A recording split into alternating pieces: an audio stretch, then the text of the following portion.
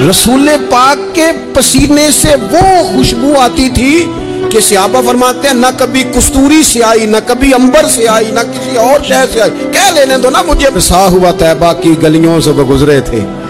अब तक उन गलियों में खुशबू है पसीने की।